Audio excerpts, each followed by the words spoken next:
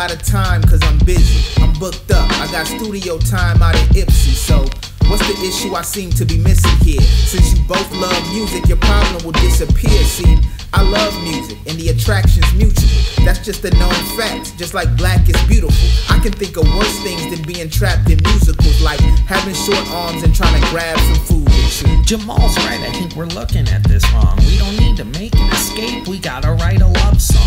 Music is boundless, the sounds are amazing. From Mozart to Kendrick, music's what I'm craving. Music has unlimited uses, from protest to romance to dancing when the groove hits. You and I spend our days jamming together, and I know it makes us better, so this is our love letter. What it was, what it is, what it would be. All I need are some buddies and a good beat. Happy or sad music makes me glad that we can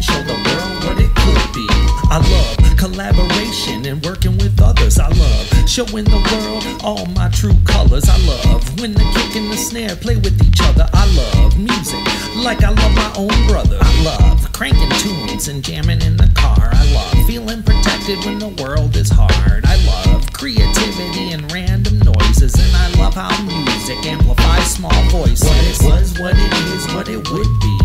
All I need are some buddies and a good beat. Happy or sad music makes me glad that we can show the world what it could be. What it was, what it is, what it would be.